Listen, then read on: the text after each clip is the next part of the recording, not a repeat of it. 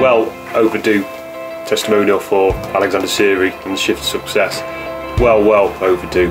Um, should have done it sooner. But anyway, up until about two and a half years ago, I started my business selling meat um, to colleagues, friends, family, and, and so on. Um, and it developed from there. October time, November time last year, went to my son's um, options evening, secondary school. One of the options he was looking at is business. So we sat down and went through all the forms and thought, I actually know nothing about business other than just getting along really and there's a lot more to it. That's when I was aware of Alex's shift success um, and at the, the uh, first success quick start date, goodbye It's come to the second one, I got overwhelming um, urge to get myself on it. Uh, managed to get the last ticket. Um, I went to that. Maybe the mindset was bit like a training day. Well, I couldn't have been more wrong. So we, we got to, I think there's five or six or seven different coaches that spoke to us that day and gave us their input um, of each stage of what the success um, route would be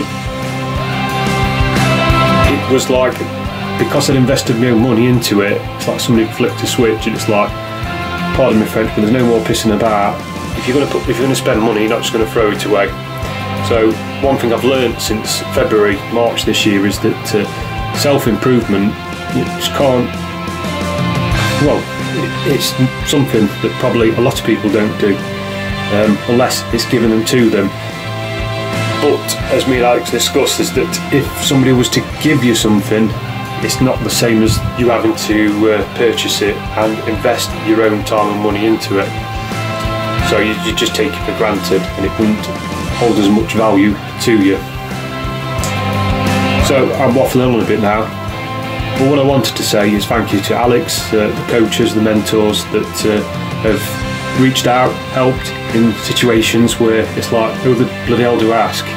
Um, but you're asking coaches and mentors that actually um, are successful and they're on with and are supportive and